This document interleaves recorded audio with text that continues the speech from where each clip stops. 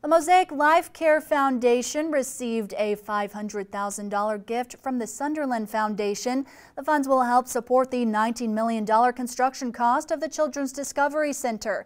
Since the project launch, $1 million has been raised by philanthropies. That's one third of the $3 million goal. The Mosaic Life Care Foundation says the Sunderland Foundation has existed for about four decades.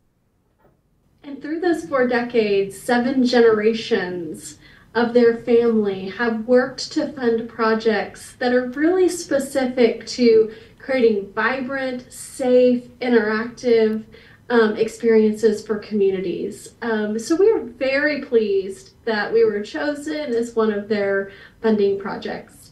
Once renovations are complete, the historic Plymouth Building in downtown St. Joseph will include more than 15 core exhibits, a traveling exhibit, a birth to 18-month-old space, a rooftop exploratorium, gift shop, and concessions.